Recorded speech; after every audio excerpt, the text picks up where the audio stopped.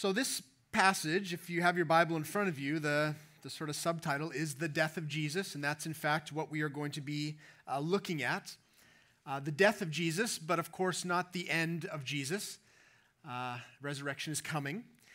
Uh, it is, however, the end of his mission. Uh, he was sent to earth uh, with some things to accomplish. And what this passage tells us very clearly is that he did, in fact, accomplish them. he wasn't behind schedule. He wasn't scrambling to get things done. Everything was going according to plan. In fact, uh, you can see from the words that he speaks on the cross, uh, one of them will be in our text, but I want to show you two. Uh, that is very clear that the mission is done. So here's John 19 30. Uh, he says, It is finished. The things that I've come to do, it is, it is now complete. And then in our passage, he says, last words, Father, into your hands I commit my spirit. And there is a sense of victory in those words. Uh, it says, he says it with a loud voice. And so Jesus, in his death, isn't uh, submitting to something, falling into something, isn't something that he couldn't overcome. He is actually accomplishing everything that he intended to do.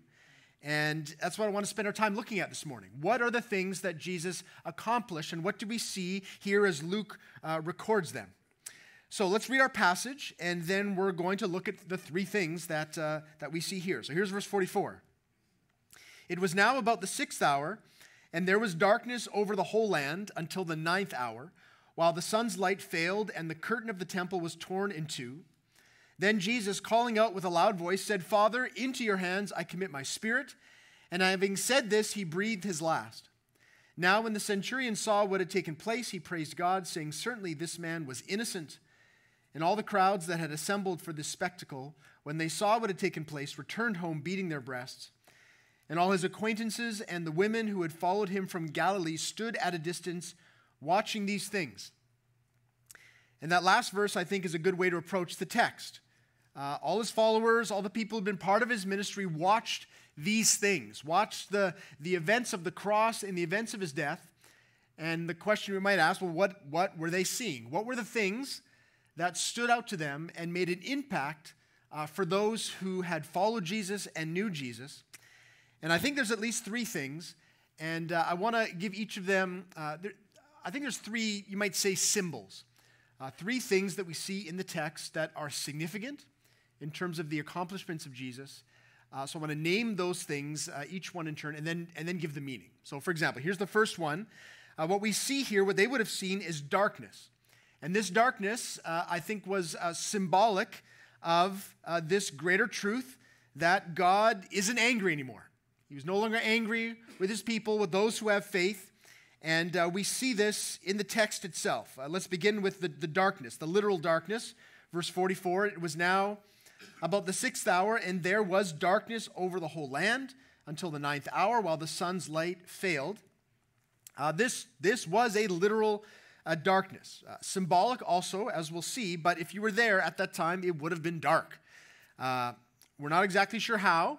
Uh, it was a supernatural darkness, but a literal darkness. Uh, and at the time when the sun would have been at its highest peak. So uh, those hours, six hour to the ninth hour, was noon till 3 p.m. So it should have been very bright, it's the area of the world, a lot of sun, and yet it was dark.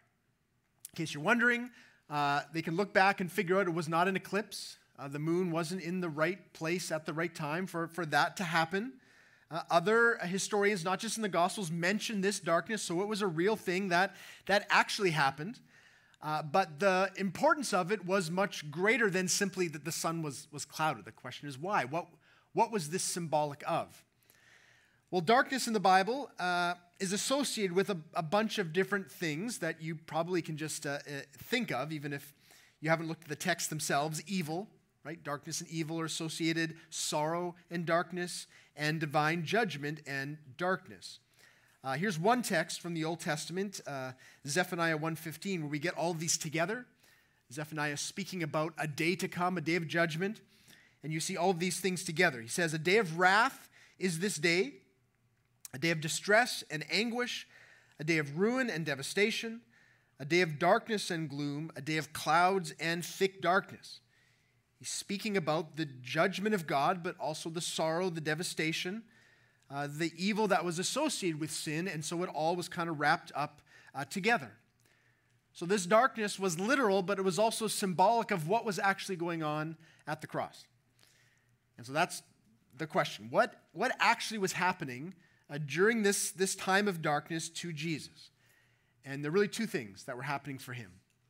He was experiencing the wretchedness of all the sin of all of humanity for all time upon himself.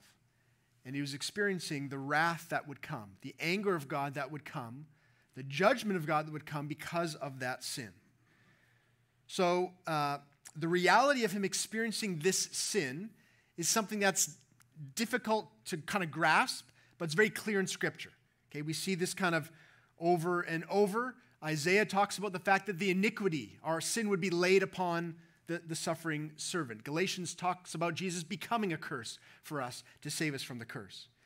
But here's 2 Corinthians uh, 5 21, which is uh, one of the clearest. It says, For our sake, he made him to be sin who knew no sin, so that in him we might become the righteousness of God. That phrasing uh, is, I think, helpful for us to understand what exactly was going on. It's not just that Jesus uh, was coming to understand sin. Uh, there's kind of this difference, right, between knowing sin, knowing evil, knowing the what, what sin is and what it looks like. There, there's a difference between that and experiencing it. It says, the one who knew no sin, Jesus, who had no sin in him, completely pure, completely sinless, he was, he was becoming sin. There was the sense in which he was absorbing all of the corruption and sin of humanity. Uh, you could think of it uh, for example, like a, like a smoker's lung, right? Absorbing all of the toxins, all of the tar, all of the carcinogens, so that by the end it's no longer pink like a lung should be, but, but black and wretched. That, that's Jesus, but in his soul. Uh, the thing that I, I think of in terms of our experience of it, probably there's been a time in your life when you have. Uh, been somewhere or engaged in something or done something where you come away feeling kind of dirty. If you know that experience, where you, it was wrong for some reason, it wasn't good for some reason. Uh, maybe you didn't really know it would be that bad and you were there and, and you, you wanted to leave right away. Maybe in your sin, you gave in to temptation, went farther and farther into the darkness. But at the end of that experience, you felt, you felt corrupt, you felt darker. You felt the sin. Now imagine that experience, but times all of the sin of humanity, all, all of the evil, all of the abuse, all of the corruption, all of the lustfulness, all of the idolatry, ev- everything that every human being has engaged in poured out upon Christ. So that he felt that darkness. He became that darkness, even though he committed none of it that was what was going on under the veil of darkness. But the other part is that he was experiencing all of the just consequence of that sin. This, the Bible speaks about in terms of the, the wrath of God or the anger of God. It's not a term that uh, you know we use that often, but it, again, it's very clear in Scripture. So here's Romans 2, one example of it says, But because of your hard and impenitent heart, you are storing up wrath for yourself on the day of wrath when God's righteous judgment will be revealed. You see the connection there. The wrath of God is the judgment of God, the anger of God. It's, it's not the way we talk, but I would, uh, I think it is the way that we understand a judgment. Uh, for example, I remember hearing an interview with a district attorney somewhere in the States, and he was just being interviewed talking about how he uh, figures out the sentencing that he is going to try to petition the court for. You know, someone's been convicted of uh, aggravated assault. What's the sentence that you pursue as a district attorney? And they were asking, like, what's your motivation? Is it to try to deter future crime? Which is what we often associate, right? You get a certain consequence, and then other people will see that and not do it. And his response was a little surprising to me. He said, Well, that, uh, if that happens, that's great, but that's not really my motivation. He said, My motivation, I'm thinking of the victim. I'm thinking of the one who was assaulted, or, or the family whose son was killed, or, or all of those who've been hurt by this crime. I'm thinking to myself, what will satisfy their anger? What will satisfy their sense of hurt, their sense of injustice, their, their cry for justice? What will that look like? Five years, 10 years? What is the, the right amount? And that really is a picture of, of wrath, of the, the judgment of God, that there have been crimes. 746, he cries out in anguish right? Not just, not just from the pain of the nails, not just from the, the discomfort of breathing and all the whippings, but because of the anguish of what he's enduring under the wrath of God. He says, My God, my God, why have you forsaken me? He's never been separated from the Father. For eternity past, he's been united, Son and Father together, the Trinity. And yet, here in this moment, God turns his back because Jesus has become sin. He's experiencing the anguish, the torment that, that we deserve. The death of Jesus was the final act necessary to save us from this, this wrath of God that we deserve. And we see it spoken of very clearly in Romans 5, 8 and 9, where it says this For God shows his love for us, in that while we were still sinners, Christ died for us. Since therefore we have now been justified by his blood, much more shall we be saved by him from the wrath of God. This is what the darkness signifies. That Jesus did the thing that was necessary for us to be freed from it, for us to be able to step out from under that, that weight of God's wrath and judgment, and for us to be able to know, for those who have faith, to believe that, that, that we, we are no longer under that penalty, that God no longer looks upon us with, with anger, with a sense of justice. It's, it's been paid. So, so what is the takeaway from this first thing that we see, the darkness? Well, for those who uh, don't have faith, I think something uh, needs to be said here, which is that I hope that, that this scene awakens you to the idea that there is, in fact, judgment coming. You may not feel like you are deserving of the wrath of God, but, but we should note that criminals rarely feel like they're deserving of punishment.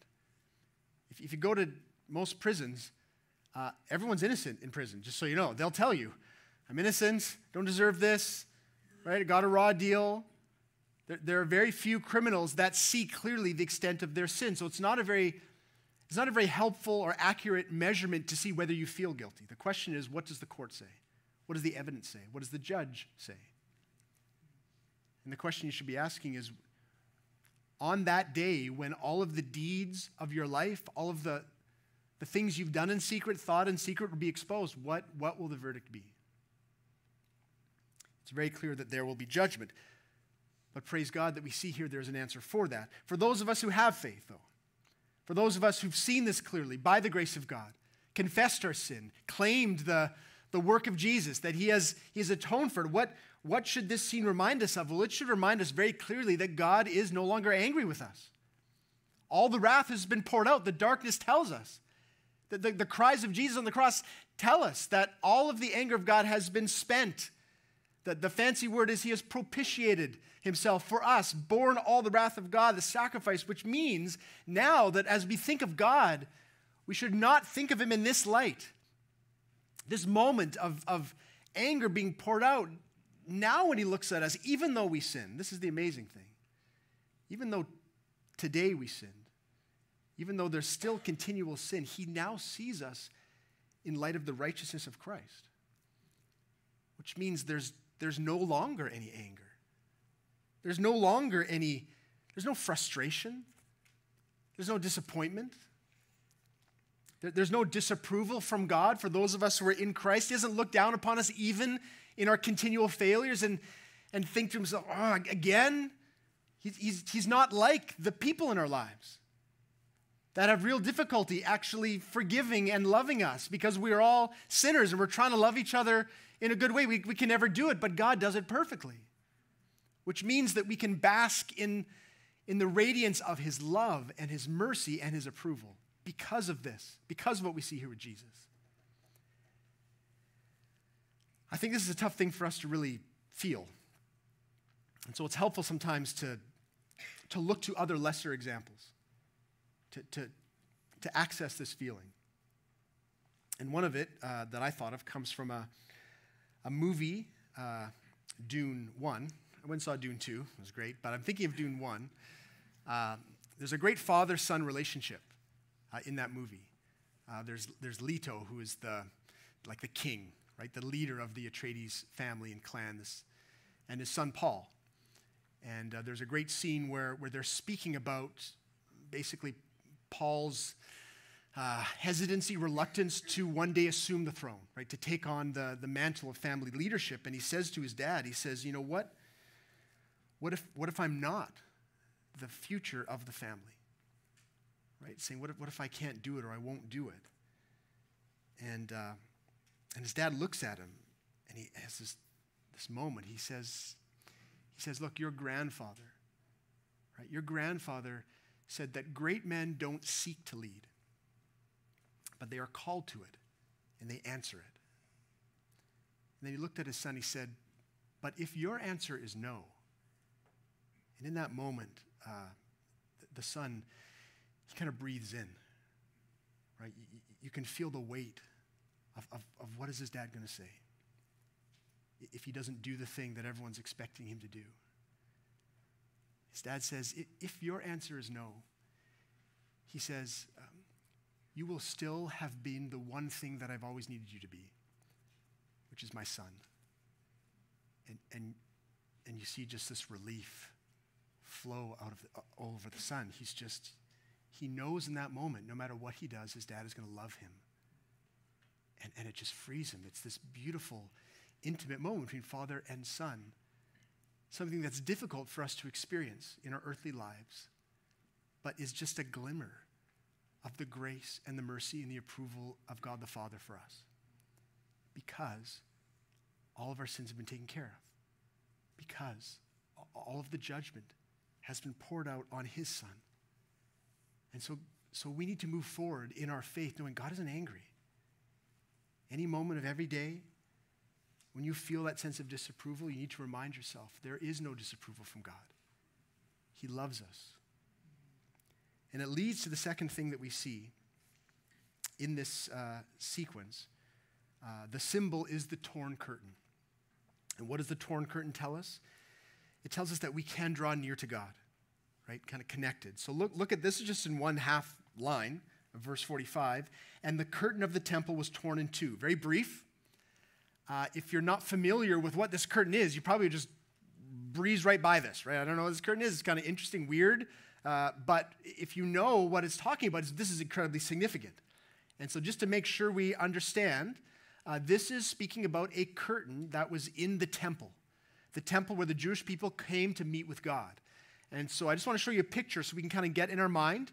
Here's the temple complex. Uh, Herod's temple is what they called it. The big structure in the middle uh, was the temple itself. And this is where the priests would go.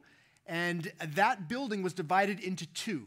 And so the next slide kind of has from above, you can see there's the longer rectangle part, that's the holy place. And then that line is the curtain. And then there's this, this square part, which is the most holy place. And this was where the presence of God would dwell.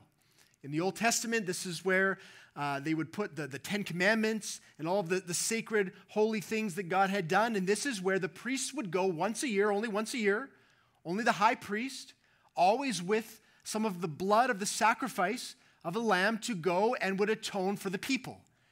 You, you couldn't enter that, that space without a sacrifice or you, you would die because God was there and he is holy. And any sinful people, person entering in that place, it, it, would be, it would be death. And so the priest would be able to go into the presence of God. That was the wondrous thing, but it was not very often, and the curtain was there to separate the two spaces. And, and the, the thing we need to be clear about is why the curtain was there.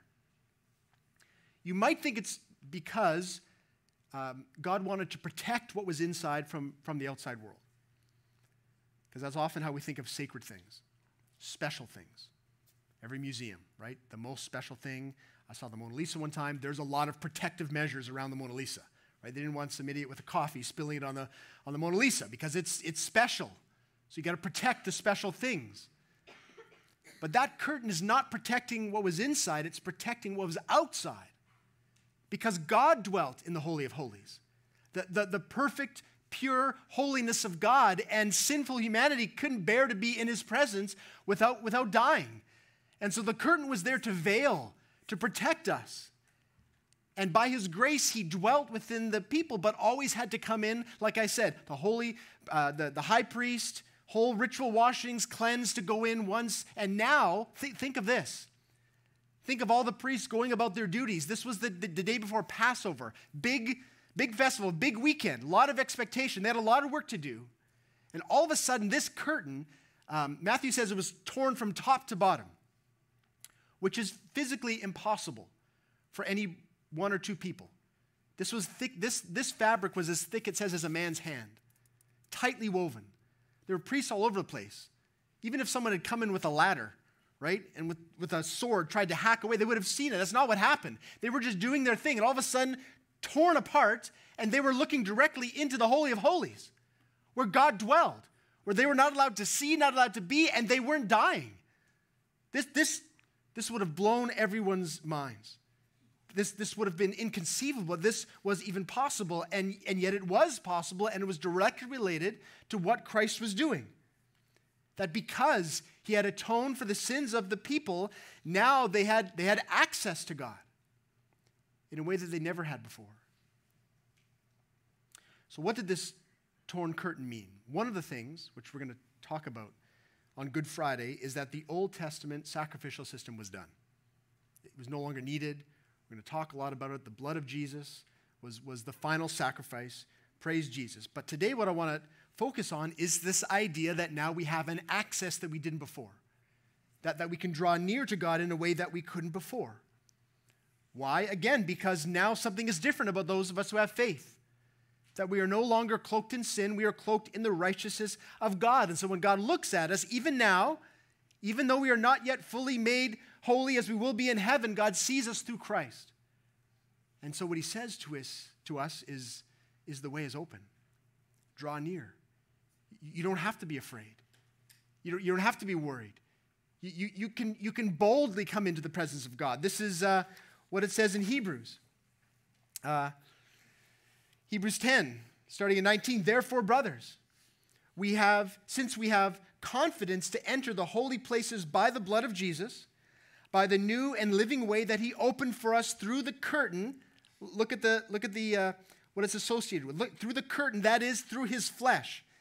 And since we have a great priest over the house of God, let us draw near with a true heart in full assurance of faith, with our hearts sprinkled clean from an evil conscience and our bodies washed pure with water. The, the emphasis there of what I want to see, we can we have confidence to enter now into the presence of God, a confidence they didn't have before. They were nervous about entering the presence of God. You've probably heard the stories. When the high priest entered the holy place, they would tie a rope to his, to his ankle in case he died when he was there. They'd have to pull him out. No one, you wouldn't go in to get him. Then you would die. There was this sense of trepidation, rightly so. They were sinful people, a holy God. You can't enter his presence. And now, he says, with confidence, we can what? Draw near to God. How? Through the Spirit of God. We are talked about, for those of us who are believers now, as temples of the Holy Spirit. That, that picture that I showed you, that, that's us. That now He dwells within us. And in prayer, in, in, in meditation and reading, we can be in the presence of God.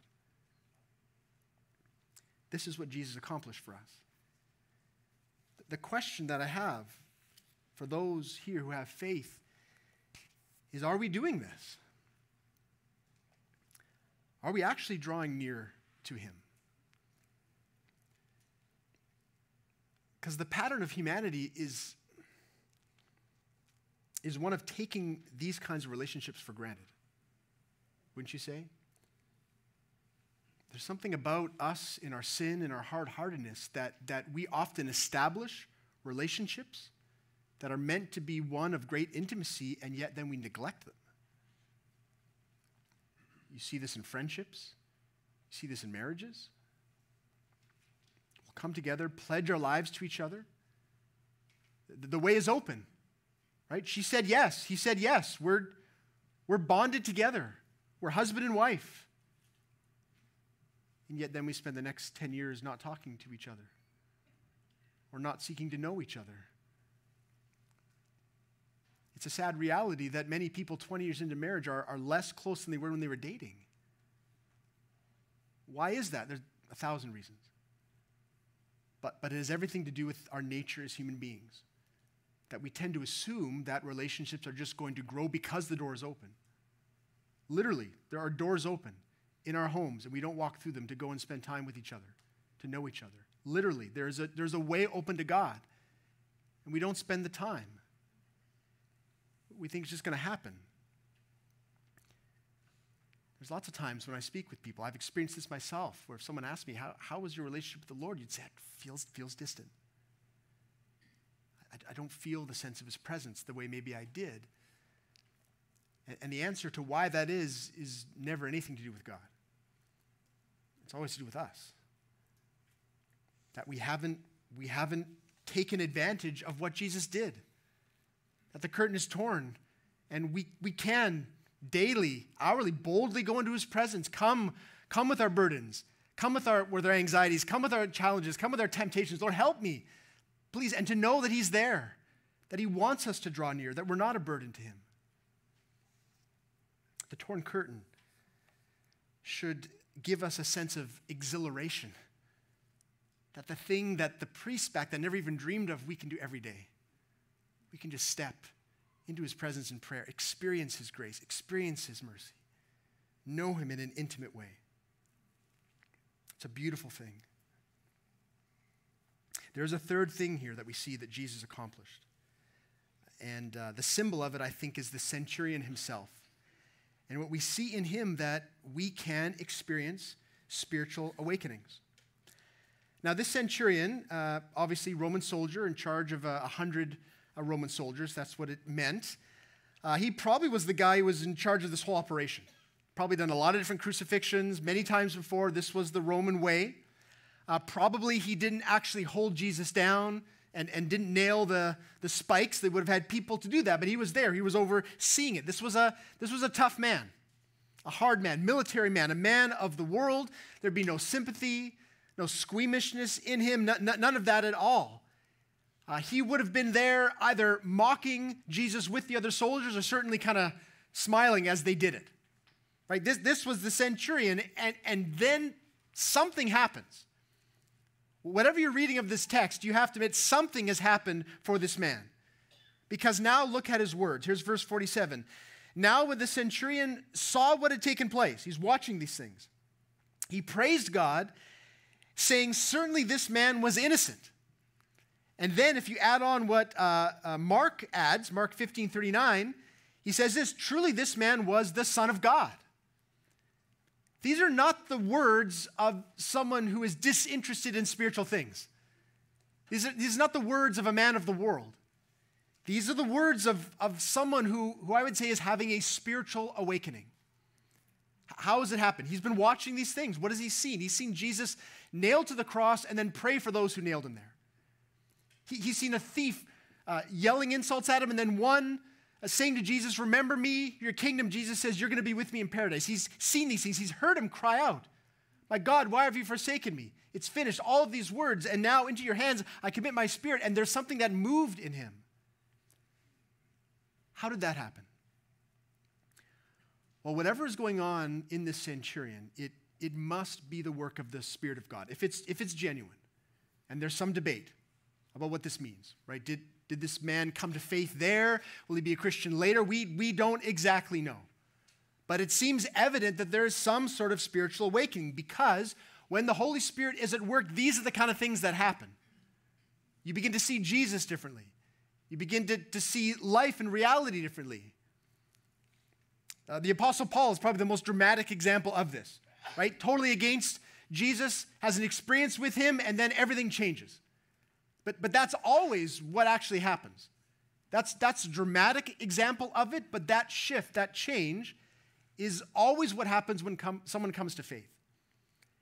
And, and the work of the Spirit often manifests itself in things like this, like we're seeing in this centurion, right? Often there's, there's a new understanding of Christ or a new interest in Jesus that we didn't have before. You see this, I've talked to many people like this. They begin to ask deeper questions and and what is it that's going on? Well, the Spirit is at work. Paul uh, speaks about this work, this, this awakening work of the Spirit in Ephesians 1 uh, 16 to 19. He's speaking to a church. He says, I do not cease to give thanks for you, remember you in my prayers, that the God of our Lord Jesus Christ, the Father of glory, may give you the spirit of wisdom and of revelation of the knowledge of him, having the eyes of your hearts enlightened, that you may know what is the hope to which he has called you, what are the riches of this glorious inheritance in the saints, what is the immeasurable greatness of his power towards us who believe. What is Paul praying? I, I want for the Spirit to continue to do the thing that he did in you to begin with right? Because it's, it's both. It's a spiritual awakening coming from death to life, and then a continual uh, understanding, eyes opening to see all these things more clearly. This is the Spirit's work. This is what he does. And if it is genuine, again, we're not sure with this centurion, but if it is genuine, what this kind of thing will lead to is, is two things. One is a clear expression of faith, which the centurion doesn't quite give us right? A clear ex- expression of faith is, is the gospel, right? A confession, I'm a sinner. Jesus, I see you've died for my sins. I trust, I believe that you died for my sins and that in your resurrection I can see that I will be resurrected. All, all of that is, is what it means to be a Christian.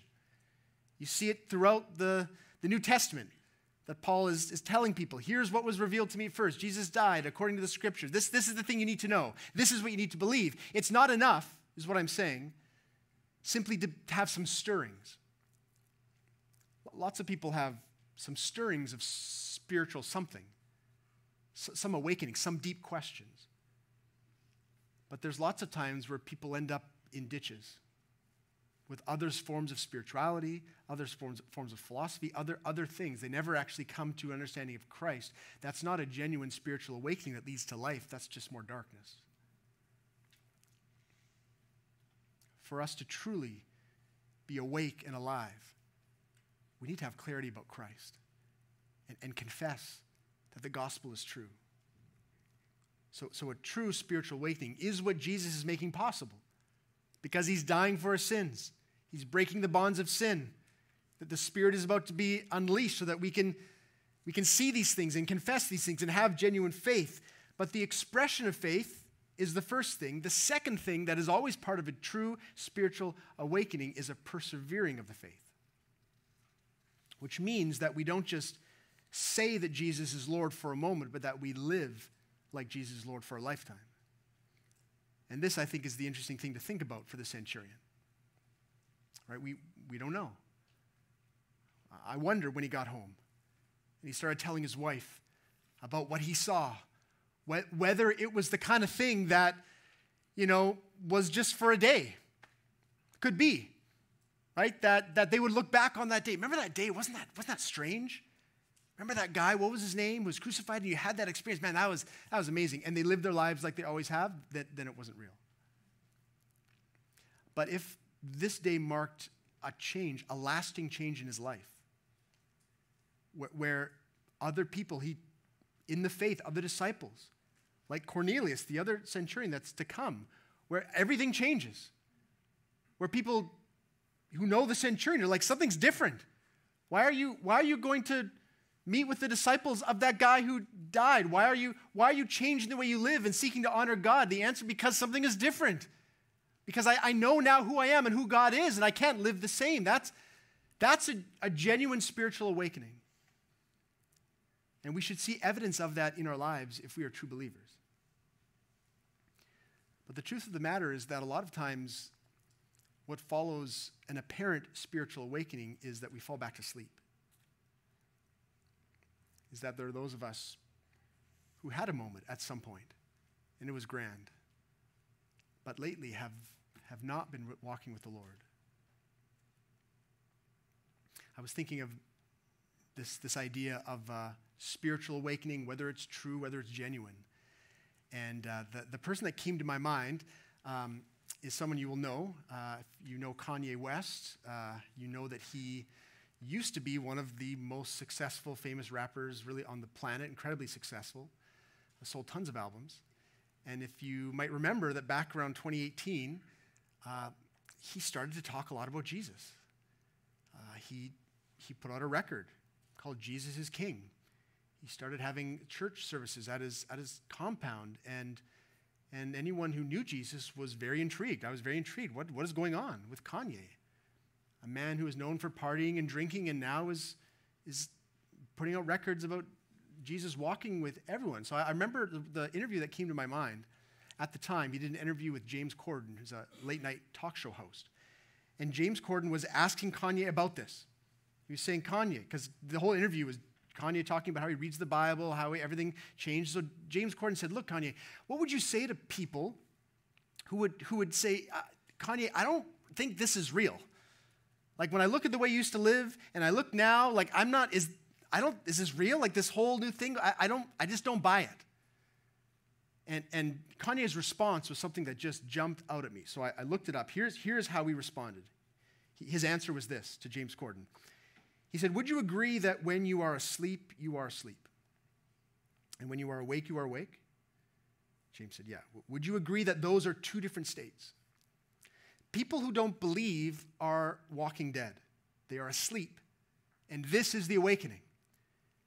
And I remember hearing that and thinking, that, that is an accurate description of biblical theology when it comes to salvation. What Kanye is saying is true. That is true. That's what the Bible exactly says. That the conversion is one of coming from dead to life and, and from being asleep to being awake. And it is the work of God that just that makes it happen. And what Kanye was saying, this is what's happening in my life. And at the time, I remember thinking, man, that's, that's amazing. I hope and pray that it's true. But sadly, over the years, uh, if you know what's happened in Kanye's life, everything seems to have fallen apart. Now, far be it from any of us to, to, to think that we know what's going on in someone's heart or someone's faith. But if you were a friend of Kanye, if you were a believer, you, you would probably lately been, been very concerned for his soul because of the, the comments he's making, anti Semitic comments, his marriage is falling apart, all sorts of things are falling apart. And, and it comes to the place of, of being doubtful. And again, the point isn't to be able to proclaim who, who is saved and who is not. The, the point is, if there's a genuine spiritual awakening, the kind that he is describing, it will, it will last. That there will be a persevering of the faith, that, that we won't fall back asleep. And that what Jesus has accomplished for us here on, on the cross, we see evidence of in this centurion, the same thing. That if it's real, that it will be something that is revealed in his entire life. And so, as we see the death of Jesus, what we should be thinking to ourselves is praise, praise Jesus for all that he accomplished. Praise Jesus that now it is possible for any human being, by the grace of God, by the power of God, to go from death to life, to, to go from being asleep to being awake. But if that is real, then we will see evidence of it until the end. That's always the call of the Bible that, that we, would, we would have that experience. Praise God for it, but it's not just that. It's not just at the campfire 10 years ago at camp. It's not just uh, at our bedside when we're six years old. That, that's great and fantastic, and clearly God can do that. Look at this, look at this soldier who moments ago was mocking Jesus and now he's praising him. Something is going on. The Spirit moves in a very tangible way, but if it is real, it will be lasting. And so instead of looking back, is what I'm saying, we should look at the present and be asking ourselves God, am I awake? Are there areas where I'm falling asleep? Are there areas where I'm taking for granted all that you've done? Like, honestly, if, if Jesus accomplished everything that we need at the cross, if we're looking at it right now, then don't you think everything should change for us? That our entire lives should be transformed? That, that, that our sense of self, our sense of understanding of who God is, who we are, and how we live, everything should be transformed because everything is different because of what he did. And so, my hope for us as we approach this Easter week is that these truths would both lift us up, but, but lift us up in a sober way, where we see that we shouldn't take any of this lightly, and yet we should walk forward in boldness, in joy. We should move out into the world with that same sense of boldness and joy. That, that Christ has done everything necessary for our our sins to be taken care of, for the anger of God to be dealt with, for access of God to be achieved. And that there's spiritual awakenings that are happening in our lives and the people, the lives of the people around us. And we get the joy of being a part of it. So as we close, I'm going to pray. I'm going to pray that this would grip our hearts, that we would seek to be faithful in it, and that we would want to see more and more people experience the things that the centurion is experiencing here and all that Christ has done. Let me pray. Lord Jesus, we thank you for your death, for your willing sacrifice. That, that, that no one took your life from you, you gave it up willingly. You, you declared boldly and with victory uh, as you de- gave your spirit over to the Father that, that, it was, that it was done. And Lord, we just thank you. We thank you for doing all the things that we could never do. We thank you that now we can live uh, without the, the weight of condemnation upon us, without the weight of judgment, but we can live freely. We can, we can walk freely into, into the presence of God. I pray, Lord, that we would live that way. I pray, Lord, if there's anything that's, that we feel weighted down by, or we feel disapproved of, or we feel uh, we see things wrongly about ourselves, God, would you remind us of the truth here? That, God, you love us deeply. And I pray that the awakening that has begun for those of us who have faith would endure to the end. I want to pray for Kanye West, Lord. I don't know him, obviously. Lord, I, I pray, though, for his soul. I pray that this season might be a humbling for him, that he might truly understand who you are, Jesus, as King, and that he would be saved. And I pray for, for all of those, or many of us, who go through those seasons of, of slipping back into the, into the darkness, into the sin that we were once a part of. Lord, I, I pray that we would not lose our way. And by that I mean that you would hold us fast. For it is not because of our wisdom that we come to you, it's because you seek and save the lost. And so, Lord, would you encourage us in that? Would you, would you bring us to the point of confession and conviction? And Lord, would you also lay upon our hearts, Lord, the, the names and the faces of those around us that we know that are lost in sin?